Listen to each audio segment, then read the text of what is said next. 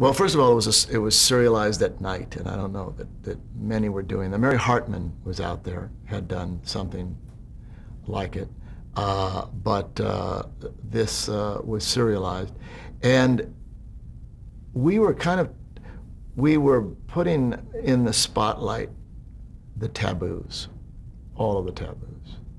Uh, and uh, I don't think other shows were featuring that. You know, as we were still doing those beginning, middle, and end. Uh, little Sally didn't get a good grade, and Dad has to go talk to the teacher. Stories, you know, kind of stories, and and so this was about uh, husbands fooling around on their wives, and and wives uh, fooling around on their husbands, and finding out uh, that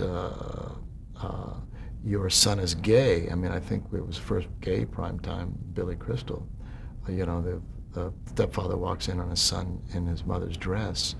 And, you know, this, this was causing a tremendous amount of outrage. And this girl who had a tremendous crush on her priest and was trying to seduce, not seduce him, seduce him, but tell her, tell her of his interest in the confessional booth. I mean, we were just, that was groundbreaking taboo stuff. I mean, we argued with the network about boffing. We could only use the word boff, and we could only use it once. We couldn't use it three times. And I mean, the promos now that I see on television, the words that are in the promos are much more risque than we were ever allowed to get into the episodes. It's like, well, this is unbelievable.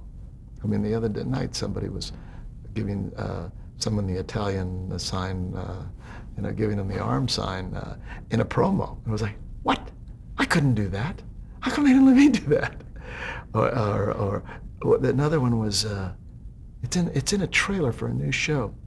I think it was Grey's Anatomy, which I happen to think is a terrific show. Uh, in the trailer, said, you know, you're diddling that guy. It's like, diddling that guy? Are you kidding me?